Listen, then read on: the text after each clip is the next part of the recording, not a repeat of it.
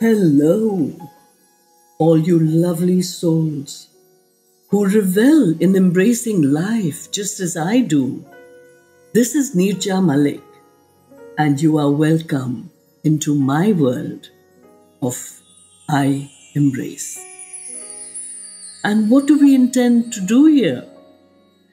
We delve into the many layers and shades of my life, exploring resilience positivity, strength, and the inherent fun and laughter that lies deep within each of us. Interludes from my own exciting and adventurous journey, my personal battles and victories that have brought forth innumerable lessons in my life. It is these learnings that I place on a golden platter with utmost humility for your personal consumption.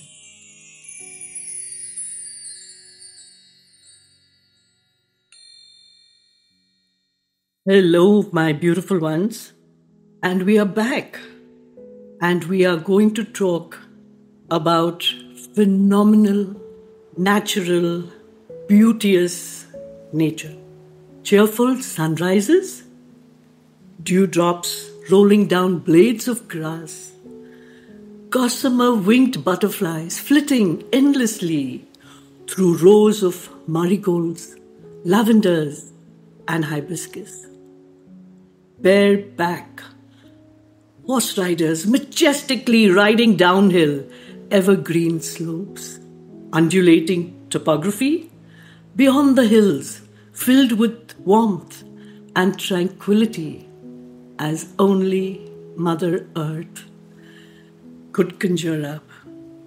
And in the midst of all this was me, blissful, unchanged, fancy free, and wild. This was my world. This was the way it had always been. From the time I was born up in the hills until the time I just happened to discover that little unassuming lump growing in my left breast.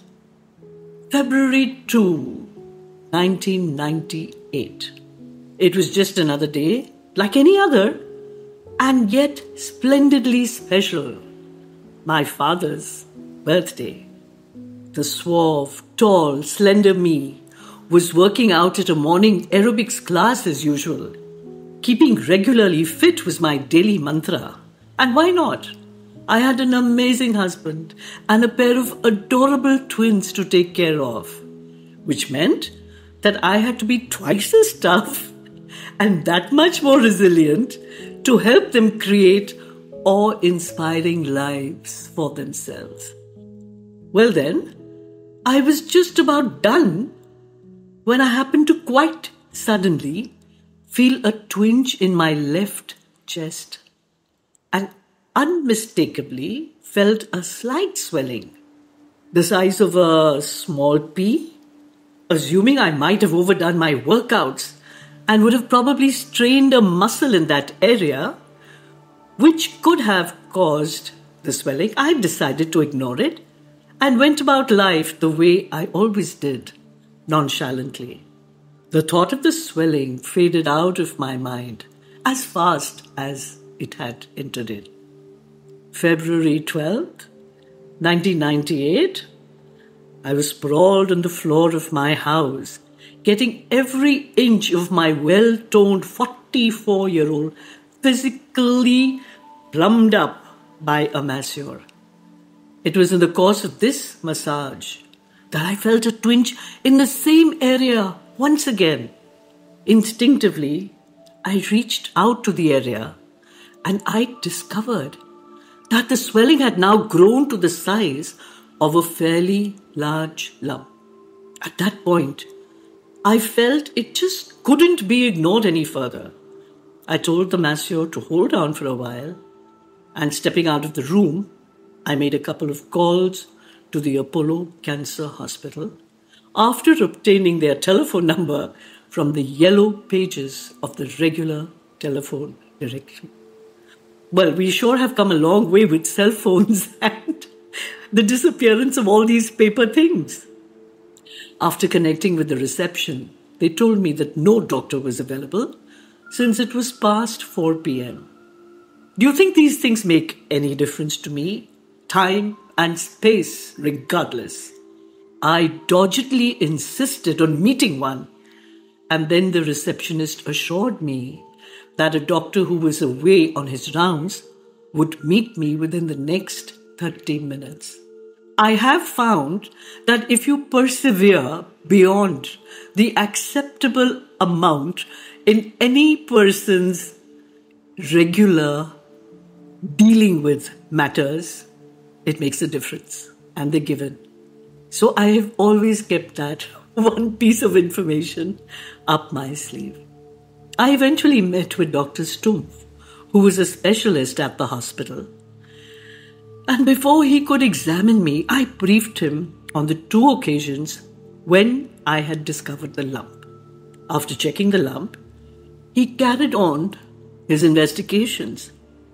And let me tell you, he seemed no less than a very clued up detective. I was quite impressed.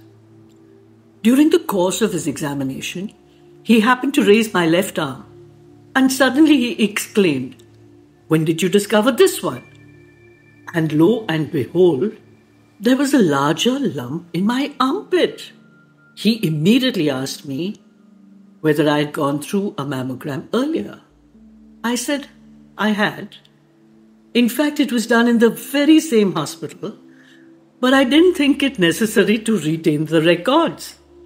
I suggested, giving him advice, that if I could go through the past records, I would be able to discover my signature. And I did. It was done on April 17th, 1997. Dr. Stumpf emphatically requested me to register at the hospital, get a mammogram done, and subsequently a fine needle aspiration cytology. FNAC. A word that I would not forget. Immediately on re- leaving his room, I realized that I had not given him my contact details. So I returned and wrote my name and landline number on a post it lying on the table. At the mammogram department, I was told that the earliest they could give me an appointment was on Monday. And they said 10 o'clock. And I said, no, I'm afraid not, because I have an aerobic class. So I decided to come back on that day to do the needful, which meant registering myself, etc., since I lived fairly close by and I left for home. And why do you think I did that quicker than I could have or would have? My Masio was waiting. So the moment I reached home to continue my massage, some sixth sense got the better of me. I intuitively yanked out the phone from the telephone socket at the entrance of my house and reconnected it into the bedroom where I was getting my massage done. There was no plausible reason for doing it, but when fate has a different role to play, God has an amazing way to protect you. I lay down to continue my massage when out of the blue the phone rang. I promise you, I jumped up.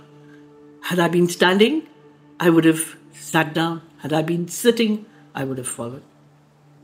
It was the doctor's assistant informing me that the doctor himself would like to speak to me. The moment the doctor connected with me, he was most apologetic that my appointment was slotted only for Monday, whereas he desired to have it done along with the FNAC immediately. He requested me to return to the hospital as soon as possible. I put the receiver down and then it hit me. that it may not have been a coincidence to have unconsciously shifted the phone into the bedroom, something that I'd never done before. Obviously, there had to be a superior hand protecting and guiding me all along. But yes, the beads of sweat had started, and all kinds of questions rose up in my mind as I quickly tried to do the needful. I left the massage midway and rushed to the hospital. While waiting in the lounge, I saw him returning to his room. And as he passed by, I said, Hey, Doc, I've come back. He tersely replied, It is good that you've done that. Somehow, the manner in which he communicated this to me was a bit unsettling. Both the mammogram and the FNAC tests were done, and the results were expected the next day. There was too much happening in my mind. The kids were at home. So many things were running through the brain that normally behaves as if thoughts are like little worms let loose on a playfield full of food. They just run around, run around, run around, creating more chaos than actually sorting out as they should. I wish those worms would fall into line. But then, obviously, they have the better of us. Later that evening, I narrated a bit by bit account of all that had happened at the hospital to Mandeep, my husband. He could see the anxiety writ large on my face and decided that he would accompany me to the hospital the next day.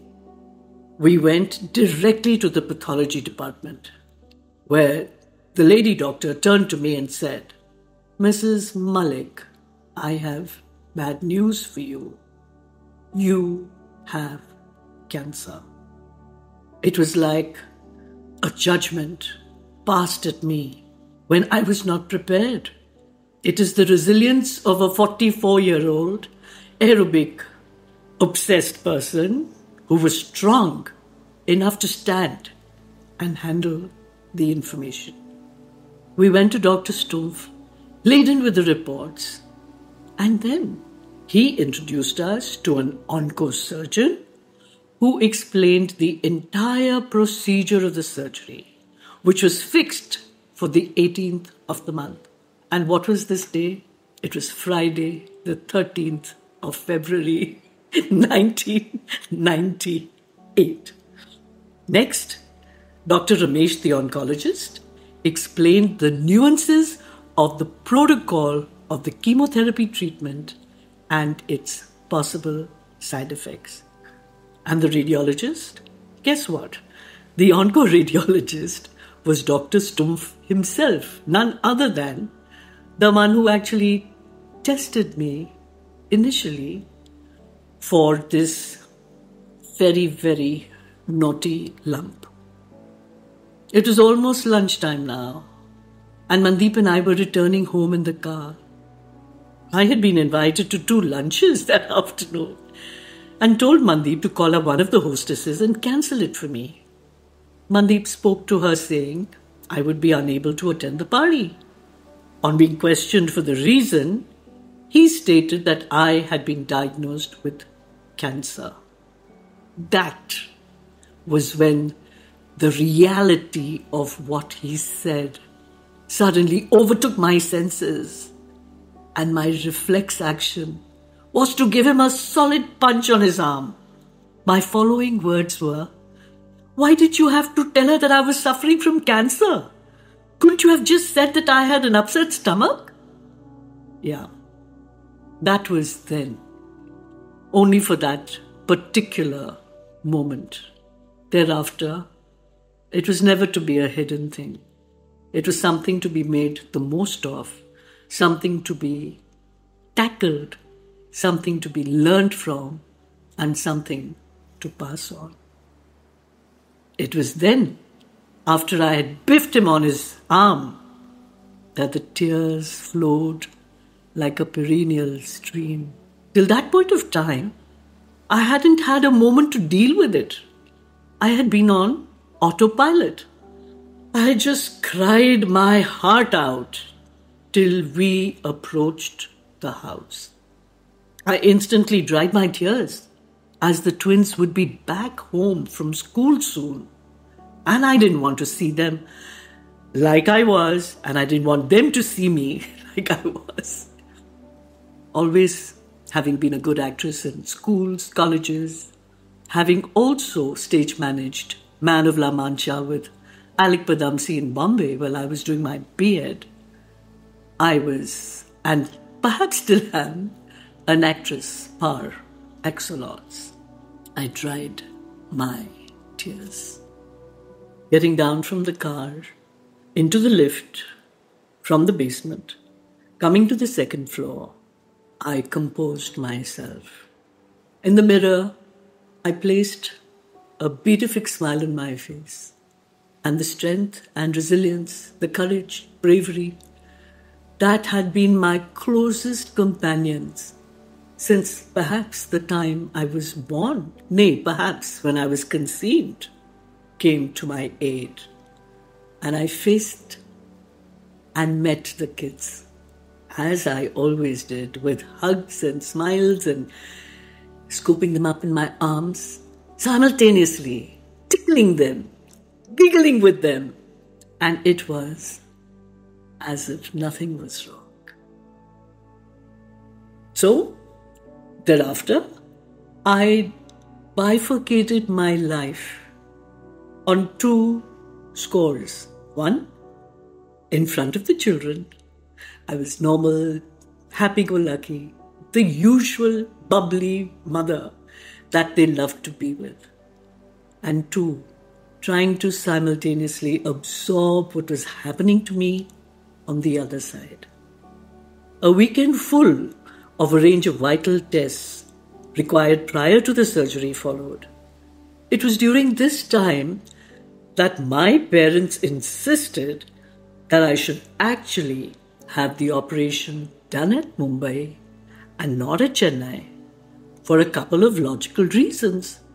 Firstly, because my parents, my sister, my in laws lived in Mumbai. I would be well looked after by them, especially during the post operative period and through the ensuing chemotherapies and radiations. Secondly, like my parents pointed out, back home in Chennai, I only had Mandeep and the twins with me. So it was decided that the entire treatment would be conducted in Mumbai. This made sense to me because I felt that while I was away, going through the worst, at least my children would be in their sacred, safe space and not be able to feel the vibrations of all that their mother was going through. A battle royal was about to arise as it was fated to be. When I reached Mumbai, I walked up confidently to my father and I told him very determinedly that I was going to fight cancer no matter what it took. And then he said something which changed my entire outlook towards life and its challenges radically and how. My father, a highly respected naval officer and my Aryan warrior, looked at me in his usual calm and composed manner and said, Beta, why are you using the word fight? Fight is a negative, an aggressive word. Why don't you use the word face instead? Face it, not fight it. Face cancer not fight cancer. This is exactly what I tell my patients when I counsel them. These are the first words that escape from my lips. Fighting is an unnecessary aggression. Conquering doesn't mean that we have to maim, to vanquish. When one faces challenges up front and eye to eye, one can be absolutely calm and serene and conquer anything with awe inspiring respect.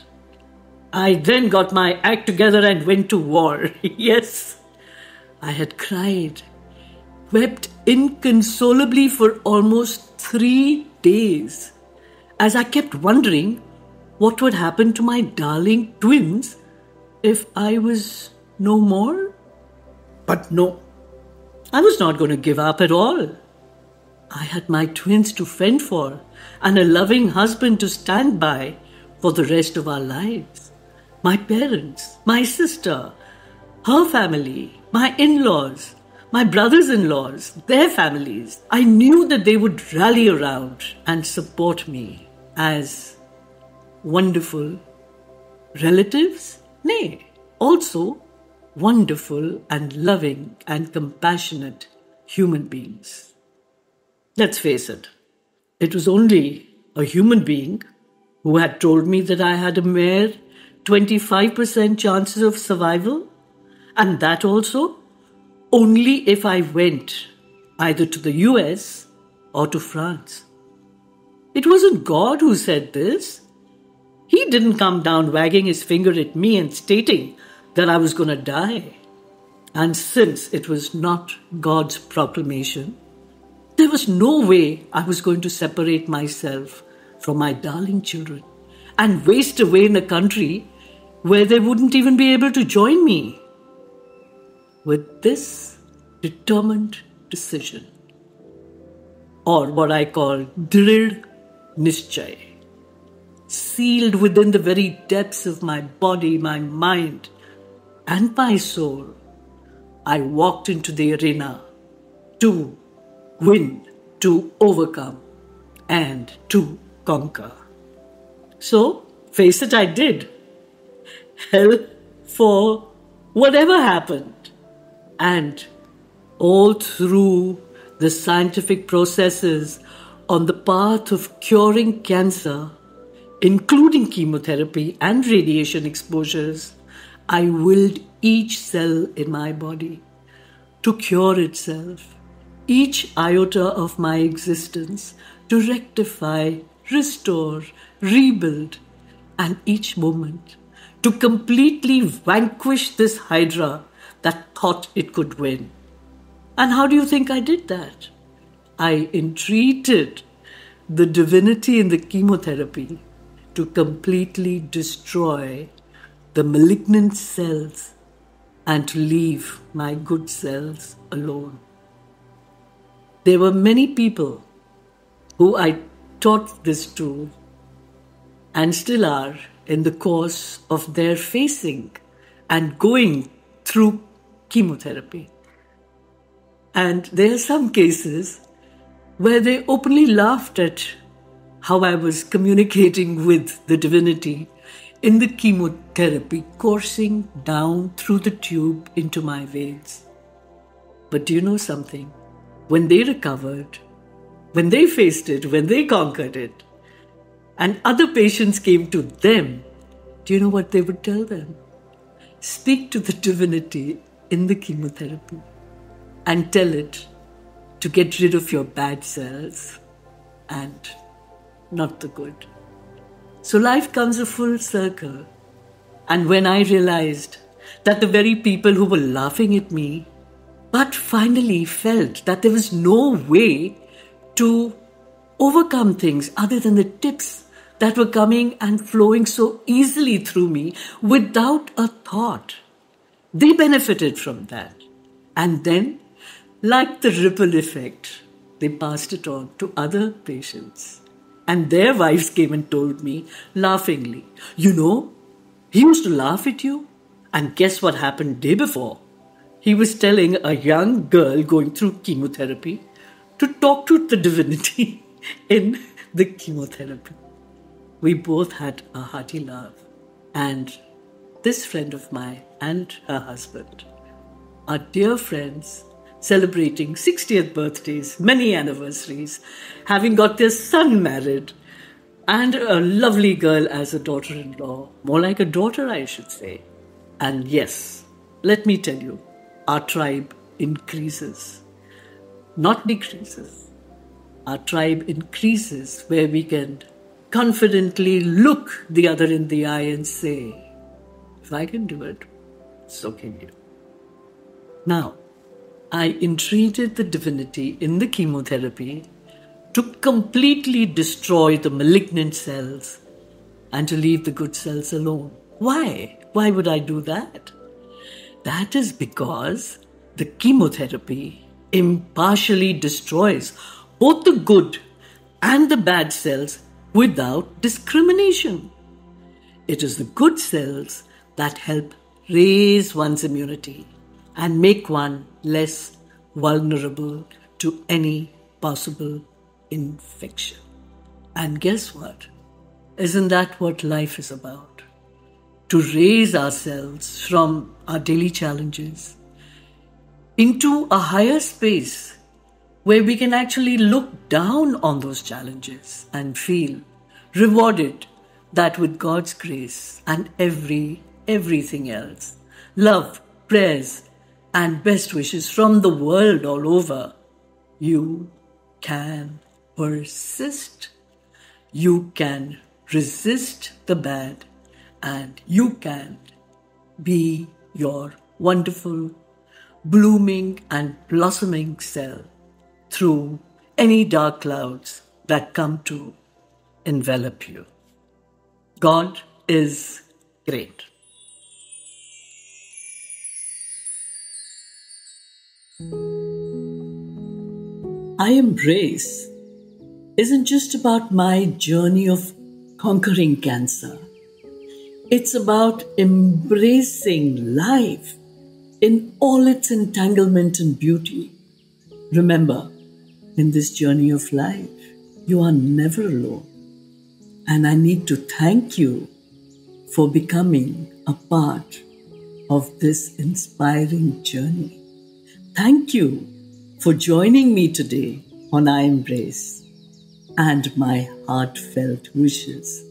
Stay resilient, stay positive, and most importantly, keep embracing life in all its glory.